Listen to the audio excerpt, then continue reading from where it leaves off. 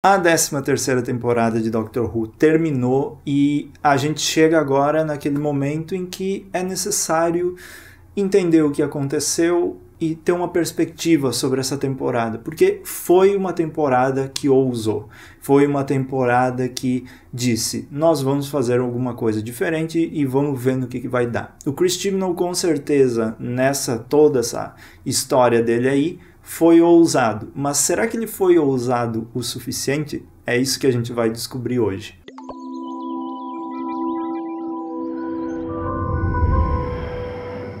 Então, nesse vídeo de hoje, eu vou mesmo falar sobre a minha opinião, a análise geral sobre a 13ª temporada de Doctor Who, chamada Flux, Fluxo, e aqui eu vou dar um ranking também dos meus episódios favoritos até os episódios menos favoritos e vou falar rapidamente do porquê isso aconteceu e também eu vou comentar mais ou menos no geral o que funcionou nessa temporada, na minha opinião, e o que não funcionou. Esse gostinho amargo na boca, esse refluxo. o, o que ele significa? Porque eu sei que muita gente ficou super empolgado, eu mesmo fiquei muito empolgado depois que eu assisti o episódio The Halloween Apocalypse, o primeiro episódio super empolgado, o segundo episódio também, o terceiro nem tanto, que foi aquele Once Upon Time, mas o quarto, que foi dos Weeping Angels, nossa, todo mundo ficou louco. O quinto episódio já também deu uma travada e o sexto episódio, pelo que eu vi no geral, o pessoal ficou bem desanimado. Então, para começar, Uh, essa temporada trouxe algo que Doctor Who fazia muito tempo, que eu estava esperando e que nunca fazia, que era fazer um arco inteiro. A, a ideia incrível, a ideia de fazer um grande evento de Doctor Who, né? O Flux, muito interessante, é, é algo que eu sempre quis ver. Em Torchwood eles fizeram isso na terceira temporada e na quarta. A terceira temporada funcionou muito mais do que a quarta mas é algo que não deve ser descartado, é algo que deve ser trabalhado em cima, porque esse formato, na minha opinião, funciona muito bem com Doctor Who. Era algo que eu comentava lá na, no início da era da Jodie Whittaker e do Chris Chibnall. Eu fiz um vídeo dizendo as, as 13 coisas que eu queria, meus 13 desejos para essa era da 13 terceira doutora, e um desses desejos foi que eles fizessem uma temporada única e que era possível sim trazer monstro da semana, trazer essas ideias, mas tudo isso baseado em um enredo só. Só que aí entrou a pandemia, eles tiveram que cortar episódios, a produção com certeza teve problemas aí por causa disso, por causa das gravações, deve ter sido uma confusão tremenda, então a gente também não pode analisar com o mesmo a mesma força uh, do que as outras temporadas, porque foi uma temporada prejudicada por diversas situações. Isso elimina totalmente a, a culpa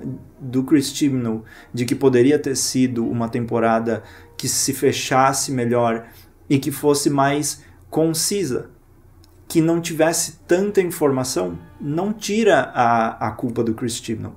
E é isso que eu quero explorar aqui hoje. Então eu vou fazer esse meu ranking primeiro, eu vou falar dos meus episódios menos favoritos ao episódio mais favorito, que eu acho que quem está acompanhando aí os vídeos com certeza já deve ter uma noção de quais foram os meus favoritos e quais foram os menos favoritos. O menos favorito nessa jornada toda foi esse último episódio, The Vanquishers, que foi o episódio que para mim mais sofreu que foi o episódio que, se fosse uma temporada mais longa, se isso tivesse sido explorado em duas temporadas, com certeza não teria sido um episódio que resol... precisasse resolver tanta informação em um só. Acabou que ele ficou sendo uma colcha de retalhos, uma coisa muito rápida e cheia de informação e que no fim o que a gente pensava que seria interessante como o, a Azur e o Swarm simplesmente sumiram. E, e isso foi acontecendo com várias coisas.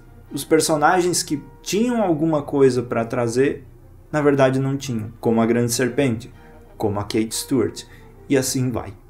E, e, não preciso falar da Bell e do Vinder, né? Aí depois, o meu quinto episódio, menos favorito, vem logo depois, é o Survivors of the Flux, que é o episódio anterior. Mais um episódio que traz aquelas viagens da Yas com o pessoal, foi legal, mas ao mesmo tempo a parte do enredo, a, a, a parte ali da Tecteium, que foi construído um mistério em cima dela e depois ela simplesmente ser morta no final do episódio assim, tira um pouco da, da graça, né?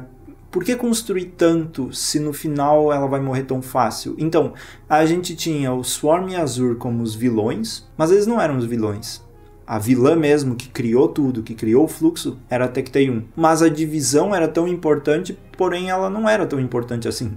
Porque só tinha Tecteium lá. Onde está essa divisão tão poderosa? O que, que aconteceu aqui?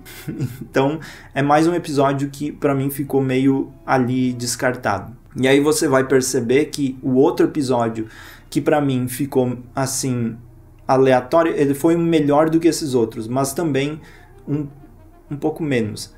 Foi aquele episódio Once Upon Time, que é aquela loucura de várias linhas do tempo, a doutora tentando fazer as coisas, apareceu a doutora fugitiva. Mas também é um episódio que, quando foca 100% no enredo da temporada, que é o fluxo, quando foca 100% na, na ideia da divisão, quando foca 100% nisso, vira uma bagunça, vira uma coisa confusa e que ficava cada vez mais claro enquanto a gente ia assistindo, ele não ia conseguir explicar tudo no fim, que não ia conseguir resolver de forma satisfatória. Foi o que aconteceu. Não, não é que tenha sido chato, é que a, tudo que foi criado antes trouxe muita expectativa de que seria algo um pouquinho mais satisfatório, principalmente na parte da divisão que construiu, construiu, e no fim não era nada. A, a, gente precisava saber das memórias da doutora, mas ela não quis saber de novo das memórias. Então,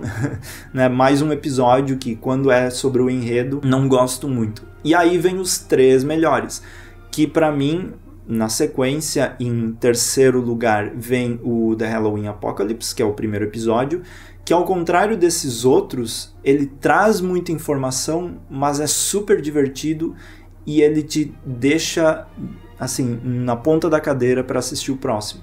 Porque ele é o primeiro, ele cria uma expectativa. E para mim foi muito bom, foi ótimo, me diverti muito. Ele só não ficou em primeiro lugar porque tinha os outros, como por exemplo War of the Santarans, que maravilhoso, episódio com os Santarans novamente ameaçadores, eles indo pro passado, né? E a gente tendo um episódio focado no passado, com a Mary Seacole ali como uma companion da doutora, e todo esse esquema da guerra das batalhas, e o pessoal, o Dan, tendo que lutar contra o Santarno sozinho.